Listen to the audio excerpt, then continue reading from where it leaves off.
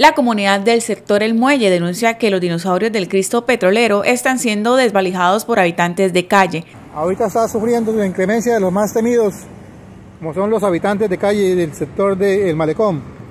Ya le quitaron todas las estructuras metálicas de las patas. Ya levantaron aquí esta otra para llevársela también. Ya en la otra siguiente estructura, en la misma estructura metálica, la pata, la siguiente pata ya se la llevaron también.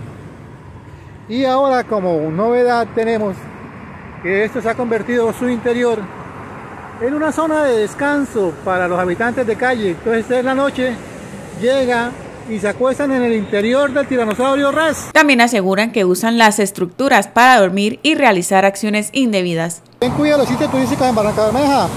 ¿Qué hacemos? ¿Qué hacemos limpiando malecones? ¿Qué hacemos limpiando todas estas zonas y la parte estructural que es la que mantiene viva memoria histórica del petróleo? Ya no va a existir.